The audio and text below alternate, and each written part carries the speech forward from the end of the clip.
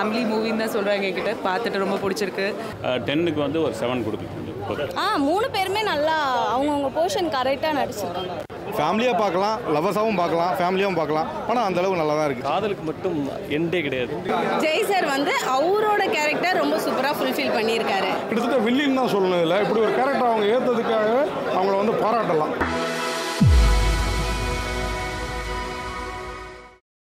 இப்போ கொஞ்சம் பேர் தான் வந்திருக்காங்க. வந்து நல்ல ரெஸ்பான்ஸாக சொல்லிட்டு இருக்காங்க ஃபேமிலி மூவின்னு தான் சொல்கிறாங்க என்கிட்ட. பார்த்துட்டு ரொம்ப பிடிச்சிருக்கு. நிறைய மொமெண்ட்ஸ் இருக்குது அப்படின்னு சொல்கிறாங்க ஸோ ஃபீலிங் ஹாப்பி தீரா காதல் வந்து நல்லா இருக்கு. பட் ஆனால் என்னென்னா இப்போ இருக்கிற இதுக்கு வந்து செட் ஆகுமா அப்படின்றதெல்லாம் டவுட் ஏன்னா ஒருத்தவங்களுக்கு கல்யாணம் ஆகிட்டதுக்கப்புறமும் வந்து அவங்களோட எக்ஸை வந்து நினச்சி பார்க்குறது வந்து எல்லாரும் பண்ணுறது விஷயம்தான் அது. பட் ஆ நிறைய ஃபேக்டான விஷயம்லாம் சொல்லியிருக்காங்க. என்ன தான் வந்து நமக்கு வந்து ஒரு லவ் வந்து முடியவே முடியாதுன்னு இருந்தால் கூட லைஃப் நமக்கு அப்புறம் லவ்வுக்கு அப்புறம் ஒரு லைஃப் வந்துச்சு அப்படின்னா அதை நம்ம அவாய்ட் பண்ணி தான் ஆகணும் அப்படின்றத வந்து நல்லா காட்டியிருக்காங்க. நிறைய இடத்துல வந்து இது பண்ணிட்டாங்கன்னா நல்லா இருக்காது அப்படின்ற மாதிரியான இதில் வரும். பட் ஆனால் அதெல்லாம் கரெக்டாக டேக்கிள் பண்ணி எடுத்துகிட்டு போயிருக்காரு. கரெக்டாக ஐஸ்வர்யா நல்லா பண்ணியிருக்காங்க ஆ அதில் இவங்க ஐஸ்வர்யாஸ்லாம் வந்து இதில் லவ்வராக வந்து பண்ணியிருக்காங்க ஆ இன்னும் வந்து அவங்க தான் வந்து வராங்க. ஏன்னா அவங்களுக்கு கிடைச்ச ஹஸ்பண்ட் அந்த மாதிரி ரொம்ப கொடுமைப்படுத்துகிற மாதிரியான ஹஸ்பண்ட் இருக்கிறதுனால ஸோ அவங்க லவ்வரை வந்து ரொம்ப நாள் கழிச்சு பார்த்ததுனால மறுபடியும் ஒரு லவ்ஸ் வந்து வந்தது. ஸோ அது எப்படி வந்து டேக்கிள் பண்ணி எடுத்துகிட்டு போகிறாங்க அப்படின்றது தான் ஸ்டோரி அந்த லவ் சாங்ஸ்லாம் இருக்கும். அது நல்லா இருக்குங்களா அதில்?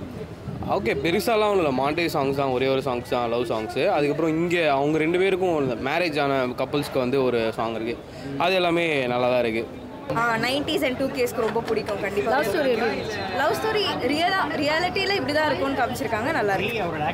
நேச்சுரல் எப்போ எப்பவும் போல ராஜா ராணியில் பார்த்த ஜெய் அப்படியே ஆப்போசிட்டில் இங்கே பார்க்கலாம் நல்லா இருந்துச்சு. அவங்க எப்பவும் போல நேச்சுரலாக நடிச்சிருந்தாங்க. ரெண்டு பேருமே நல்லா நடிச்சிருந்தாங்க. இவானோட மியூசிக் எப்படி? ஓகே. இப்போ எனக்கு பெருசாக சாங்ஸ் தெரியல பட் பேக்ரவுண்ட் ஸ்கோர் ரொம்ப நல்லா இருந்துச்சு. ஆ, சரி அதில் வந்து ஃபைட்டிங் சீன்ஸ் அந்த மாதிரி அதெல்லாம் கொண்டு வராங்க. லாஸ்ட்டாக எப்படி முடிக்கிறாங்க. ரொம்ப சாட்டிஸ்ஃபைடாக இருந்துச்சு. எல்லாருமே பார்க்கலாம். நல்லா இருந்துச்சு. இப்போ எல்லாரோடையும் கனெக்ட் ஆகும். படம் எல்லாரோடையும் அந்த கதை வந்து எல்லாரோடையும் கனெக்ட் ஆகும். சொல்ல வராங்க ஒரு லைஃப் வந்து எக்ஸ் வந்தால் என்ன நடக்கும்னு என்ன எக்- அதாவது ஜெய் வந்து திடீர்னு ஒரு எக்லவரை மீட் பண்ணுவாங்க. அந்த எக்லவர் வந்து அவங்களுக்குள்ள அந்த லவ் வந்து இருக்கும். அந்த லவ் வந்து எப்படி எக்ஸ்போஸ் பண்ணுறாங்களா இல்லையா? அதான் அந்த லவ் ரெண்டு பேருக்குள்ள எப்படி கரெக்டாக செட் ஆகுதா இல்லைன்றதா படம் கதை. ஆனால் நல்லா இருக்கு. படம் நல்லா இருக்கு. நீங்கள் பாருங்கள் தேட்டரில் பார்த்தா உங்களுக்கு ஃபேமிலியாக பார்க்கலாம் லவர்ஸாகவும் பார்க்கலாம் ஃபேமிலியாகவும் பார்க்கலாம். ஆனால் அந்த அளவு நல்லா தான் இருக்குது ஒரு ஃபேமிலி கதையும் இருக்குது லவர்ஸ்க்கு உண்டான கதையும் இருக்குது மூணு பேருமே நல்லா நடிச்சிருக்காங்க. லவ் தான் சார் பேசிக் லவ் தான். அது ஒரு காதலை தான் சொல்ல நினச்சிருக்காங்க. அது பர்ஃபெக்டாக சொல்லியிருக்காங்க. ஆ மூணு பேருமே நல்லா அவங்கவுங்க போர்ஷன் கரெக்டாக நடிச்சிருக்காங்க. சாரி சாரி எனக்கு அது தெரியாது. படம் படம் வந்து ஒரு ஃபீல் குட் மூவியாக இருந்தது நல்லா இருந்தது உண்மையிலே வந்து. ரொம்ப நாளைக்கு அப்புறம் ஜெய்க்கு ஒரு கம்பேக்காக இருந்தது இந்த படம். எங்கேயும் எப்போதும் படத்துக்கு பிறகு வந்து ஒரு பெரிய இதுவாக இருந்தது. ஒரு ஃபர்ஸ்ட் ஹாஃபில் வந்து 90 ஃபீல் இருந்தது செகண்ட் ஹாஃப்லாம் டூ கே கிட்ஸ்க்கு பிடிச்சமான ஒரு படமாக இருந்தது. டென்னுக்கு வந்து ஒரு செவன் கொடுக்கலாம் ஹீரோயின் வந்து ஃபர்ஸ்ட் இதுலேருந்தே நல்லா பண்ணிகிட்டு இருக்காங்க தொடர்ச்சியாக வந்து ஐஸ்வர்யாவோட ஐஸ்வர்யா ராஜேஷோடைய அந்த நடிப்பு வந்து பிரமாதமாக இருக்குது. இந்த படத்துல வந்து ஜெய்க்கு ஈக்குவலாக வந்து அவங்க பண்ணிட்டு இருக்காங்க சிவதாவும் பார்த்தீங்கன்னா ரொம்ப செலக்டிவாக பண்ணக்கூடிய ஒரு நடிகை வந்து இந்த படத்துலையும் வந்து ஒரு குடும்ப தலைவியாக வந்து ரொம்ப அருமையாக பண்ணியிருக்காங்க ஹஸ்பண்ட் கேரக்டர் ஒருத்தர் பண்ணியிருக்காப்ல அந்த கேரக்டர் ரொம்ப நெகட்டிவாக இருக்கிறாங்க அது இல்லை இல்லை அந்த கேரக்டர் அவ்வளோ நெகட்டிவாக இருந்தால் தான் வந்து பார்வையாளருக்கு வந்து ஒரு என்ன சொல்கிறது அந்த கேரக்டர் மேலே ஒரு வெறுப்பு உண்டாகும். ஐஸ்வர்யா மீது ஒரு நியாயத்தை சொல்லக்கூடிய ஒரு விஷயமா இருக்கும். ப்ளஸ் அப்படின்னு வந்து ஸ்க்ரீன் ப்ளே நல்லா ப்ளஸ்ஸாக இருக்குது. ஏன்னா சமீப படங்களில் பார்த்தீங்கன்னா ஸ்க்ரீன் ப்ளே அடுத்து என்ன நடக்க போகுதுன்னு வந்து ஆடியன்ஸ் பார்த்துற மாதிரி யூகிக்கிற மாதிரி விஷயம் இருக்குது. மைனஸ் அப்படின் போது எங்கேயோ கேட்ட கதையாக நிறைய கேட்ட கதைகள் மாதிரியான ஒரு விஷயம் இருக்குது வந்து. ஆனால் படம் போக போக வந்து உள்ளே போயிடுற மாதிரியான ஒரு விஷயம். நிச்சயமாக இருக்கும். ஒன்று இருக்கும் ஓகே நன்றி. காதல் வந்து என்னைக்குமே தீராது இல்லையா? என்னைக்காவது யார் ஒருத்தங்க மேலே காதல் இருந்துச்சுன்னா காலம் வரைக்கும் அது இப்படி இருக்க தானே செய்யும். அதான் தீரா காதல். காதலுக்கு மட்டும் எண்டே கிடையாது. வடிவேல் சார் சொன்ன மாதிரி எனக்கு எண்டே கிடையாதுடா காதலுக்கு எண்டு கிடையாது. ரெண்டு லவ் இருக்குன்னு சொன்னாங்க. ஒரு கல்யாணம் ஆயிட்டு ஒரு ரிலேஷன்ஷிப் கூட இருக்குது. அது கல்யாணம் கல்யாணம் ஆன பிறகு புதுசாக ஒரு லவ் வரல. ஆல்ரெடி அவங்க லவ் பண்ணியிருப்பாங்க அந்த எக்ஸ் மேலே ரெண்டாவது அவருக்கு ஒரு சின்ன கரிசனம் வரும். அது காதலாக மாறதாக்கான ஒரு சூழல் வரும். அந்த சூழலை எந்த அளவுக்கு அவங்க மெச்சூர்டாக ஹேண்டில் பண்ணாங்க அப்படிங்கிறத டோட்டலாக நல்லா பண்ணியிருக்காருங்களா சூப்பராக செட்டில்டாக நடிச்சிருக்காரு. தீரா சொல்லுங்க தீரா காதல்னா உங்களுக்கே தெரிஞ்சிருக்கும். அன்லிமிட்டெட் லவ் ஓகேவா? படம் எண்டே கிடையாது. லவ்வுக்கு மட்டும் எப்பவுமே எண்டு கிடையாது. படம் ரொம்ப சூப்பராக இருக்குது மறக்காமல் தேட்டரில் பார்த்தா மட்டும்தான் நம்மளுக்கு அந்த ஒரு ஃபீலே கிடைக்கும். உடனே நைன்டி சிக்ஸ் மாதிரியெல்லாம் கேட்டுறாதீங்க. லவ்னா உங்களுக்கு நைன்டி சிக்ஸ் தான் இருக்கேன் நைன்டி சிக்ஸ் வந்து அதுவும் ஒரு விதமான லவ் தான். அது school days love puppy love so இது வந்து வேறு மாதிரி. ஆஃப்டர் மேரேஜ் குழந்தை குட்டியெல்லாம் பெற்றுற பிறகு நம்ம எக்ஸை மீட் பண்ணால் என்ன மாதிரி ஒரு ப்ராப்ளம்ஸ் வரும்? என்ன மாதிரி ஒரு ஃபீல் கிடைக்கும்? எல்லாமே வந்து அதில் தெளிவாக கொடுத்துருக்காரு. ஜெய் சார் வந்து அவரோட கேரக்டர் ரொம்ப சூப்பராக ஃபுல்ஃபில் பண்ணியிருக்காரு. யாருன்னுலாம் சொல்லாதீங்க. ஒரு லவ்வராகவும் அவங்ககிட்ட பர்ஃபெக்டாக இருந்திருக்காரு. ஒரு பர்ஃபெக்ட் ஹஸ்பண்டாகவும் அவங்க ஃபேமிலியை கரெக்டாக மெயின்டைன் பண்ணியிருக்காங்க. ஸோ ரெண்டு பக்கமும் கரெக்டாகவே இருந்திருக்காரு. மியூசிக் நல்லா இருக்கு? அந்த லவ்னா அந்த மியூசிக் தான் கொண்டு போய் அந்த படத்தை லவ் மியூசிக் நல்லா இருக்கு. ஒரு பிஜிஎம் வரும். பர்டிகுலராக ஒரு பிஜிஎம் வரும். எனக்கு பிடிச்சிருக்கு என்னோட பாயிண்ட் ஆஃப் வியூவில் எனக்கு பிடிச்சிருக்கு தீரா காதல் படம்.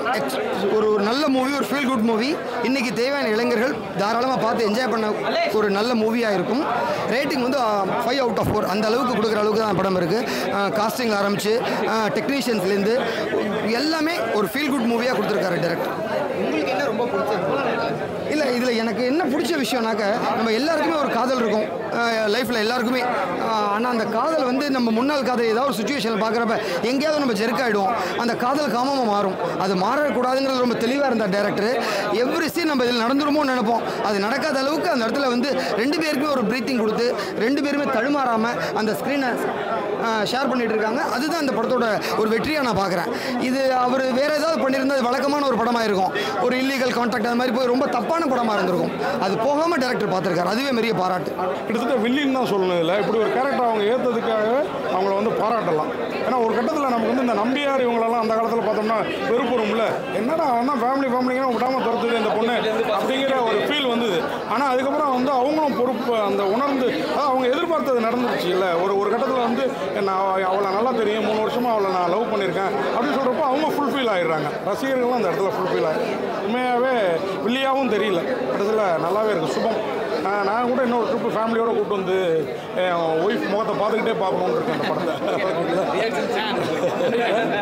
ஓகே அதுண்ணே படம் பார்த்த என்னோட பழைய ஞாபகம் என்னோட பழைய லவர் நான் படம் வந்துருச்சு. தீரா காதல்ன்றது உண்மைதான் நினைக்கிறேன். இவரோட ஃபர்ஸ்ட் படம் ரொம்ப நல்லா இருந்துச்சு. அதே கண்கள் அப்புறம் பெட்டர்மஸ் ஓகே. இந்த படம் என்ன எப்படி யோசிச்சு பண்ணாருன்னு எனக்கு தெரியல. ஒருவேளை அவரோட லைஃப் நடந்திருக்குமான்றது எனக்கு தெரியல. ஆனால் எனக்கு இந்த படம் பார்த்தோன்னா என்னோட பழைய லவர் நான் படம் வந்துருச்சு. அது என்னன்னு சொல்ல முடியல என்னால். நமக்கு ரிலேட் ஆகுது? கண்டிப்பாக ரிலேட் ஆகுது.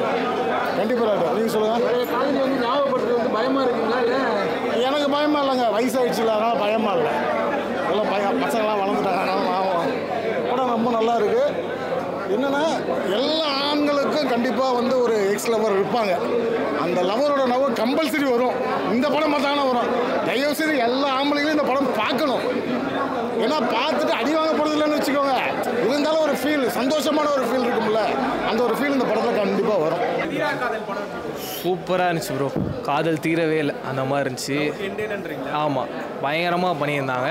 எக்ஸ்பெக்ட் பண்ண மாட்டேன்ல. ஒரு சில படத்துக்கிட்ட இந்த படம் அந்த மாதிரி ஒரு படமாக அமைஞ்சிருச்சு. செம்ம ஃபீல் டெக்னிக்கலாகவே படம் ஸ்ட்ராங்கான படம் ப்ரோ சினிமாட்டோகிராஃபியாக இருக்கட்டும் எடிட்டிங்காக இருக்கட்டும் மியூசிக்காக இருக்கட்டும் எல்லாமே ஒரு படத்தில் எல்லா கிராஃப்ட்டும் கரெக்டாக ஒர்க் பண்ண ஒரு ஃபீல் இருந்துச்சு இந்த படம் பார்க்கும்போது. நல்ல படமாக இருந்துச்சு.